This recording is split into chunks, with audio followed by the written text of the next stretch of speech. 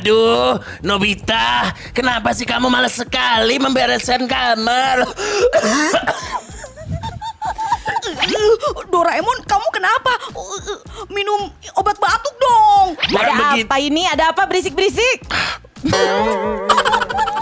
Nobita, soalnya kamu itu selalu mengeluh. Harusnya kamu itu sadar diri. Kenapa memangnya? Aku kan masih mau bermalas-malasan. Eh, Doraemon gak usah ganggu deh. Kenapa ini? Kenapa berantakan seperti ini? Nobita! Eh, Iya, Bu.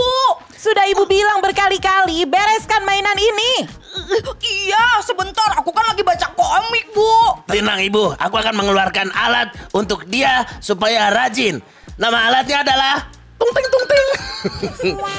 alat pembuat rajin.